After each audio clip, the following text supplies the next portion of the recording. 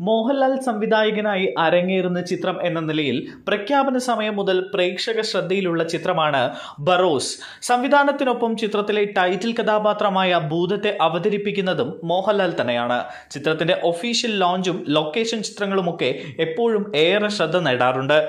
ബറോസിലെ കഥാപാത്രത്തിനായി താടി വളർത്തി മുടി കളഞ്ഞ ഗെറ്റപ്പിലാണ് ഇപ്പോൾ ലാലേട്ടൻ നിൽക്കുന്നത്. സ്റ്റൈലിഷ് ലുക്കിലുള്ള അദ്ദേഹത്തിന്റെ പല ലൊക്കേഷൻ ചിത്രങ്ങളും നേരത്തെ സോഷ്യൽ മീഡിയയിൽ വൈറലായിരുന്നു. ഇപ്പോഴിതാ അത്തരത്തിൽ പുതിയൊരു ചിത്രവും സോഷ്യൽ മീഡിയയിൽ പോസ്റ്റ് ചെയ്തിരിക്കുകയാണ് നമ്മുടെ സ്വന്തം ലാലേട്ടൻ. സ്റ്റൈലിഷ് തൊപ്പിയും സൺഗ്ലാസും വെച്ച് ചിത്രീകരണത്തിനായുള്ള തയ്യാറെടുപ്പിലാണ് ചിത്രത്തിൽ മോഹൻലാൽ നിൽക്കുന്നത്. അനീഷ് ഉപാസനയാണ് ചിത്രം പകർത്തിയിരിക്കുന്നത്. ഇന്ത്യയിലെ ആദ്യ ത്രീ ഡി ചിത്രമായിരുന്ന മൈഡിയർ കുട്ടിച്ചാത്തൻ സംവിധാനം ചെയ്ത ജിജോയുടെ കഥയെ ആസ്പദമാക്കിയുള്ളതാണ് ഈ ചിത്രവും. സന്തോഷ് ശിവനാണ് ചിത്രത്തിന്റെ ഛായാഗ്രഹണം. രണ്ടായിരത്തി പത്തൊൻപത് ഏപ്രിലിൽ പ്രഖ്യാപിക്കപ്പെട്ട ചിത്രത്തിന്റെ ഒഫീഷ്യൽ ലോഞ്ച് രണ്ടായിരത്തി ഇരുപത്തിയൊന്ന് മാർച്ച് ഇരുപത്തിനാലിനായിരുന്നു. കേരളത്തിലും ഗോവയിലുമായി ചിത്രീകരണം നടന്നിരുന്നുവെങ്കിലും അന്ന് ചിത്രീകരിച്ച രംഗങ്ങളെല്ലാം ഉപേക്ഷിക്കേണ്ടി വന്നുവെന്ന് നേരത്തെ തന്നെ മോഹൻലാൽ വ്യക്തമാക്കിയിരുന്നു.